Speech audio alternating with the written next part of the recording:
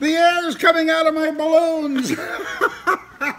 you know, I say, what in the world is that? Hey, on my head here, I've got a conglomeration of like all the different balloons that I've done in about the last week, and the air is coming out of some of them. But you know what?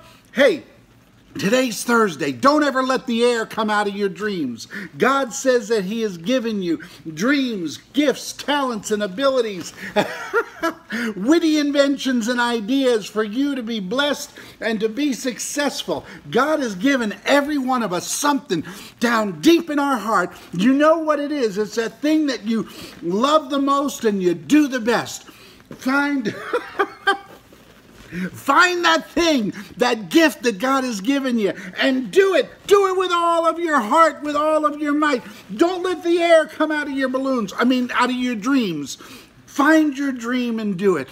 Because when you do that, God will bless you in an incredible way. And you know what? It won't even feel like work. God loves you today. He's giving you gifts, talents, and abilities to do your dream. And you can do your dream better than anyone else in the whole world. And you'll be an incredible success. And you'll be blessed and you'll be a blessing to everyone around you. Hey, have a tremendous Thursday. Don't let the air out of your dreams. Love y'all.